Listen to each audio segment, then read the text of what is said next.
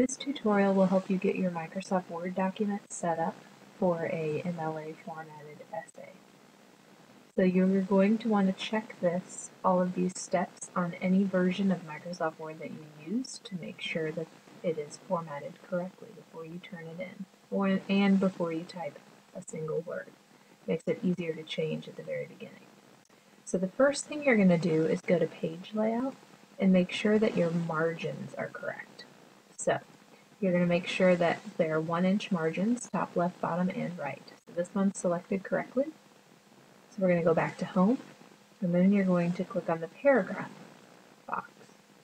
Here, you're going to check to make sure that these are both at zero. So if you'll notice, this one's at 10, so we need to go down, make that zero, and then we want our line spacing to be double for the whole document.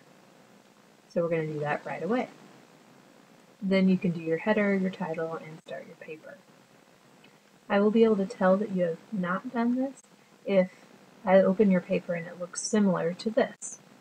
Now the only reason I can tell these changes have not been made is because of the spacing in between the paragraphs.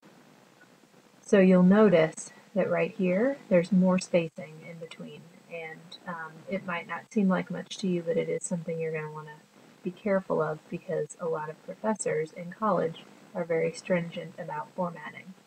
So if we go up here to paragraph, we can see that the, the spacing afterwards is at 10 instead of at 0.